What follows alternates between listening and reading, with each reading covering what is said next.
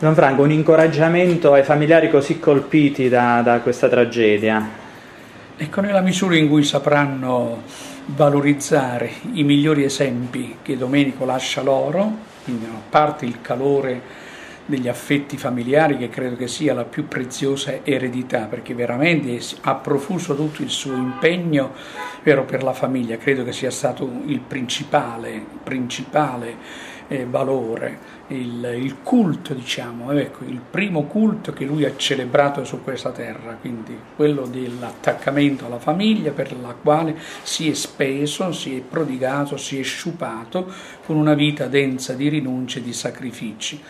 Poi ecco, proprio il suo impegno per il bene comune, per il trionfo del bene comune, della collettività, vero, nella grande famiglia, bene, bene amata, vero, la seconda sua famiglia, come è stato pure ricordato, che è stata la Guardia di Finanza, dove veramente ha fatto, eh, diciamo, ha donato il meglio di se stesso, eh? veramente ha donato quello che di più intimo lui conservava lo ha fatto emergere e questo, e questo, talento lo ha trafficato per il bene della collettività. Quindi credo che i familiari devono, debbono essere orgogliosi e direi con Sant'Agostino, ecco, più che piangerne l'assenza, ringraziare il Signore per averglielo donato.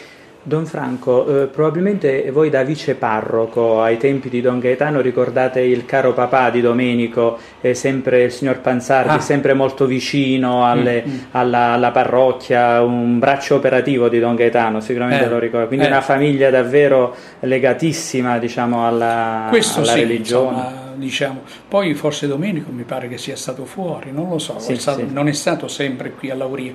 Ecco perché negli ultimi tempi ho avuto modo poi di riagganciarlo, perché sì, la memoria eh, rimane in me, indelebile dell'impegno anche di suo papà e quindi c'è una Biagio, sorta Biagio. Ecco, Biagio.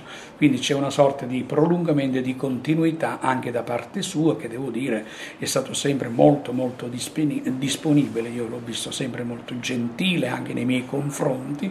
Ecco.